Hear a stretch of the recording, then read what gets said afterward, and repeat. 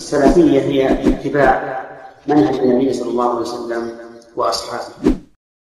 فضيلة الشيخ يقول السائل سماحة الشيخ نقل عنكم أنكم أفتيتم أهل فرنسا بالصوم مع أهل فرنسا وإن كان مجلس مسلميها لا يعتمد الرؤية الشرعية بل الحساب الفلكي فهل هذا صحيح؟ نعم نحن نقول صوموا مع المسلمين في بلدكم ولا تختلفوا في فرنسا وفي غيرها.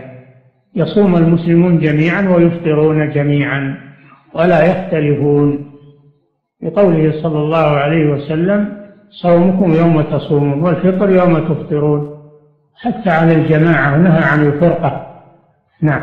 أنا سلفي على الكتاب والسنة وعلى منهج السلف الصالح.